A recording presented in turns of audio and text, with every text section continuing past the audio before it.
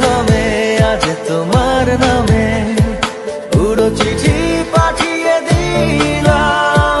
পড়ে নিও, তুমি মিলিয়ে নিও, খুব যতন তা লিখেছিলাম। ও চাই পেতে আরও